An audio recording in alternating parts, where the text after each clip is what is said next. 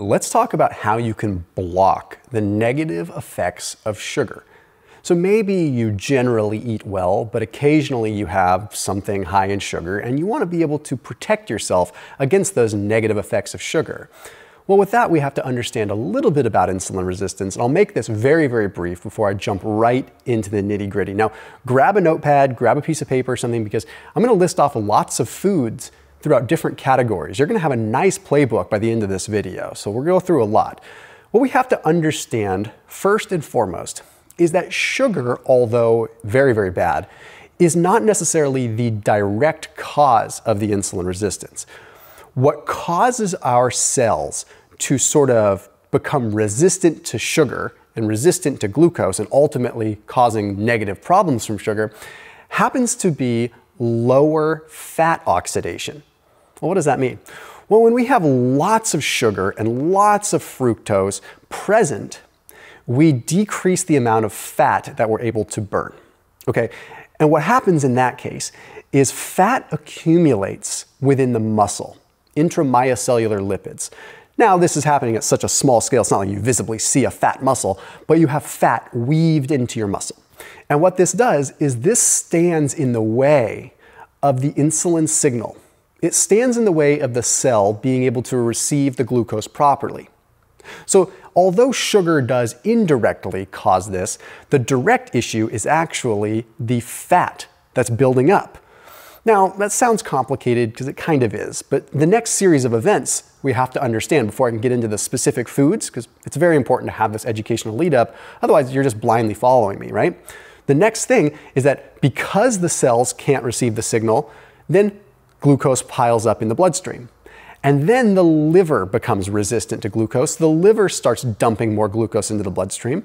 This causes inflammation. And then the pancreas finally says, I can't keep up with all this glucose in the bloodstream. The pancreas gets tired and you become insulin resistant because you're not producing insulin very well. So, number one, the first thing that we can do to block the negative effects of sugar in the first place is to slow down the absorption of glucose into the bloodstream. Okay, so if you have something sugary, but you long term want to be able to be resilient towards that sugary treat, well, you need to be able to occasionally block glucose uptake, glucose transport.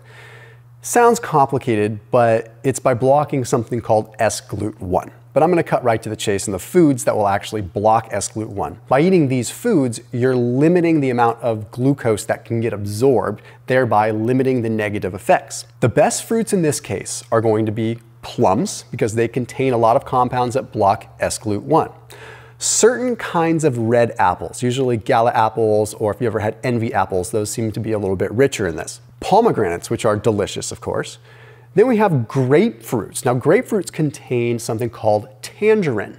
Tangeretin is unique because it blocks S-GLUT1 quite powerfully. Now, a lot of citrus fruits have this tangeretin in it. You're gonna find it in oranges. You'll also find it in lemons. Out of all of these fruits, I would lean towards the lemons and the grapefruit because they're not adding more sugar in. Those are already pretty sour fruits that don't have a lot of sugar. So you're getting the impact of blocking sugar with grapefruit and lemon without adding more sugar in. But we also want to block fructose because fructose can contribute to this problem as well. So consuming green tea with its EGCG, that's really a powerful, powerful compound in green tea that blocks the absorption of fructose quite powerfully. Okay, so we want to lean into that. Also, little bits of cranberries are good with this, not the sweetened dried ones, okay? But also grapefruits and lemons because they have that hesperidin in them, which also blocks this. Okay, so if you were to take all of this, grapefruits and lemons are going to be the best way to block the absorption of sugar. But now we have to move into phase two, which is really important. We have to look overall, how do we reduce the inflammation? Because inflammation is really the big culprit when it comes to the problems with sugar.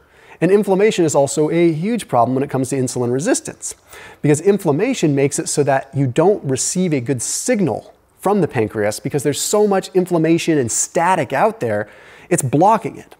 One of the best ways that you can block inflammation or slow it down is by periodically fasting. A couple days per week, fast for 16 or 18 hours. It reduces what is called the NLRP3 inflammasome, which is a master regulator in a lot of ways. Of inflammation in our body. This can have a long tail effect and actually counterbalance the negative effects of sugar if you do it a couple days per week. But additionally, omega 3s are one of the most heavily researched compounds when it comes down to modulating inflammation. So if you add more omega-3 supplementation, more omega-3 rich foods like salmon, like sardines, things like that, it plays a really, really big role. And then if you want to get weird, there are compounds in licorice and shallot that can lessen inflammation through this same pathway.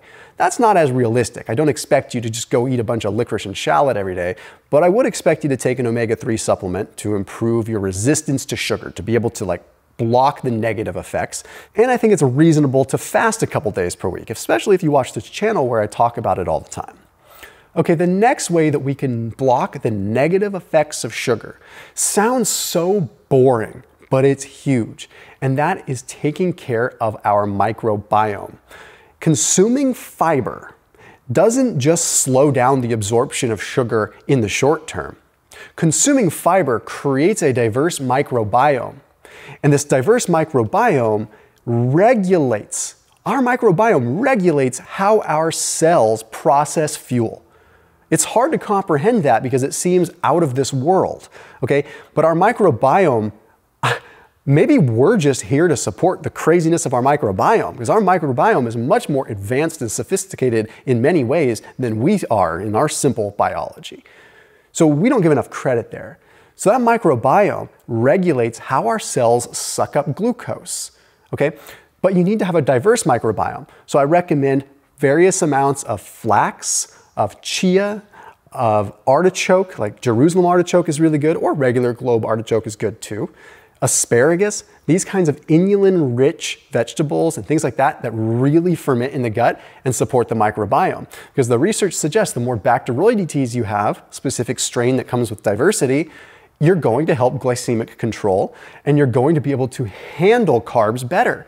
So, long term, it's a tremendous preventative so that you have more resilience against having a sweet treat or having some sugar now and then. I also popped a link down below for Seed, which is a probiotic that I recommend, and that link will get you 15% off. It's a synbiotic, which means it has a prebiotic fiber in it as well as a regular probiotic. Well, I shouldn't say a regular probiotic, a very advanced strains of probiotics, okay, all in one capsule for multi-stage delivery. Very unique stuff, and they do a lot of microbiome research on their own and fund it themselves. That link down below, top line of the description underneath the video, will save you 15% off your entire order through Seed for that synbiotic. The most important thing that you need to do with this entire continuum of things I'm talking about is take care of your beta cells. Okay, if the pancreatic beta cells give up and they raise that white flag, it's over. It's game over. We have to take care of that. We are always focusing on how do we help the cells? How do we help absorption? How do we do this? What about the epicenter, the pancreas that's actually producing insulin?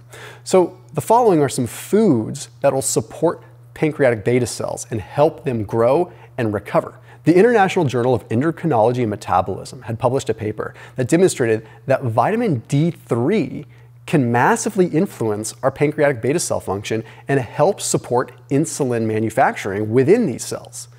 So that means in the summertime, when we're getting vitamin D, we're probably managing glucose better, which is wild to think, right?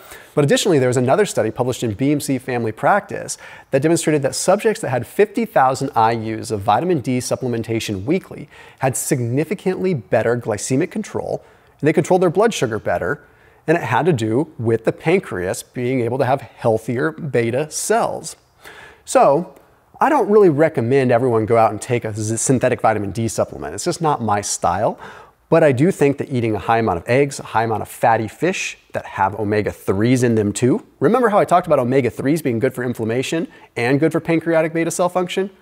Combine that with vitamin D in things like sardines, mackerel, sockeye salmon, you've got a double, triple whammy there. Like things are really effective. Now, if you can't get those foods in, I recommend things like cod liver oil. Cod liver oil has vitamin A, vitamin D, and omega 3 in it in a supplement form. So I would recommend that route. And if you absolutely must, you can go with synthetic vitamin D if you still can't get your vitamin D levels up. Because the research doesn't lie. Adequate vitamin D means better pancreatic support, pancreatic beta cell function. But what about specific foods that you can also eat that help the pancreatic beta cells? There's something called genistein, which is a compound that you're going to find in a couple of kind of vegetable-y things. If you like alfalfa sprouts and clover sprouts, you're probably an anomaly. Not a lot of people like them, but they happen to be some of the best possible foods for your pancreas and for these beta cells. So definitely lean into those. More mainstream common ones, broccoli and cauliflower, also contain this genistein, which is very, very good for the pancreas.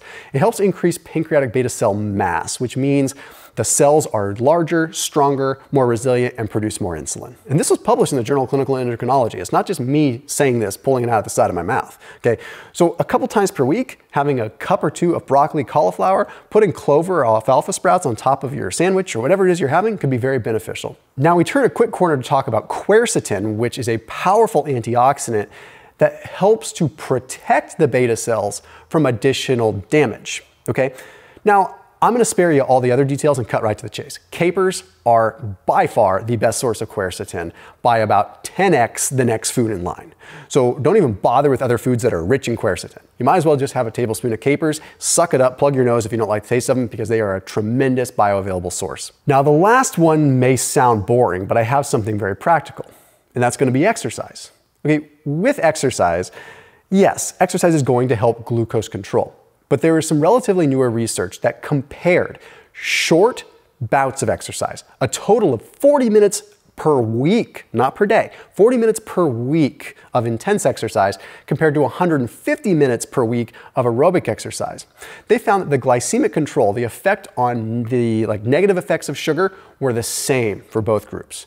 Both groups reduced the impact of sugar. What was wild though is that just one session of high intensity interval training Okay, we're talking like seven minutes, just one session, reduced postprandial glucose levels for 24 hours, which means it lowered the effect that food had on blood sugar for 24 hours just by doing like seven to 10 minutes of intense, high intensity exercise. What's wild though, even more wild, after two weeks of doing this, there was a 369% increase in GLUT4.